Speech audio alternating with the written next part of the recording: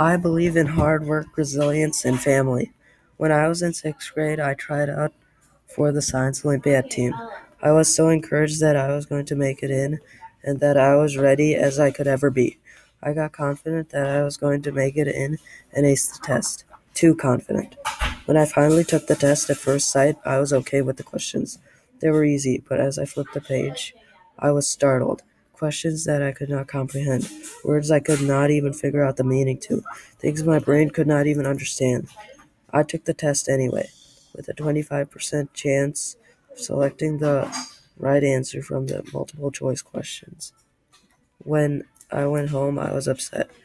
I couldn't sleep fully, I couldn't think properly. My mind was on those questions. The AP level questions 24 7.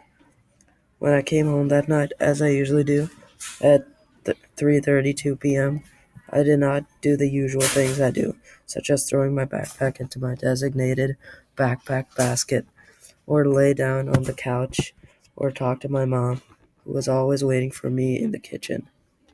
No, no, I was a little different this time, and my mom knew it too. I did not throw my backpack into the basket. I did not lay on the couch. I did not talk to my mom instead. Instead, I sat on a wooden stool in front of the island in our kitchen, staring off into the distance. My mom knew something was happening, so she asked me, What's wrong? she asked. With a bit of hesitation, I said I didn't get into Science Olympiad. My mom was a little bit upset because we both worked so hard to try and push myself into Science Olympiad, but I did not make it in. But instead, controlling her emotions, she said, It's okay, try harder next time. And that was the moment that that was the moment I realized that my parents loved me. After a year, I tried again in seventh grade. I was sure I was going to make it in this time. I knew all the questions and answers. I was ready, but I didn't want to get overconfident in myself like I did last year. I then took the test, and the next week the results came, and I got selected. I was extremely happy, and so was my mom. When I came home, I was beaming with joy.